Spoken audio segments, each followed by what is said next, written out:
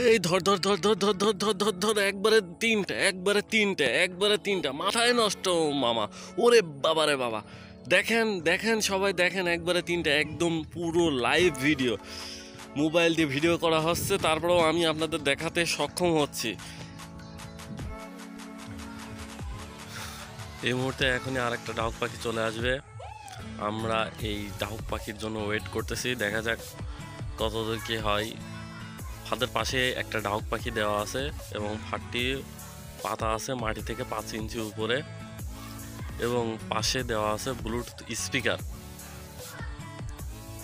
Tripod দিয়ে ভিডিওটি করা হচ্ছে এবং পরে এডিটিং করা হয়। তো আপনারা আমার সাথে থেকে দেখতে থাকুন পাখিটি কি করে।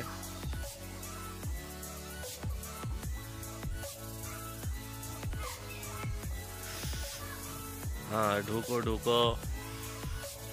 হ্যাঁ ঢুকো। ঢুকো ঢুকো। এই দেখেন, যখনই ঢুকতে যাবে তখনই অ্যাটাক পাখিটির গলায় বেঁধেছে। এখন আমি আপনাদের দেখাবো কোড়া পাখি কীভাবে ধরতে হয়। একই ফাঁদ দিয়ে কোড়া পাখি ধরা যায়। কোড়া পাখি, বক পাখি, হাঁস পাখি, কালিম পাখি ইত্যাদি বিভিন্ন ধরনের পাখি ধরা যাবে।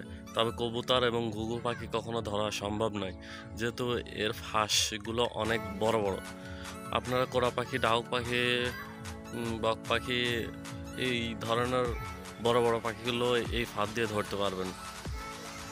আবার দেখাচ্ছি কীভাবে ডাউক পাখি ধরতে হয়। ডাউক পাখি ইতিমধ্যে একটা চলে এসেছে এবং বের হয়ে যাওয়ার সাথে সাথে একটি পাখি ধরা পড়ল। আজকে সারাদিনে কতগুলো পাখি ধরেছি সেটা আমি আপনাদের দেখাচ্ছি। সব আমার জালের ভিতরে বন্দি করে রেখেছি। আশা করি ভিডিওটি দেখে আপনাদের ভালো লেগেছে। ভালো লাগলে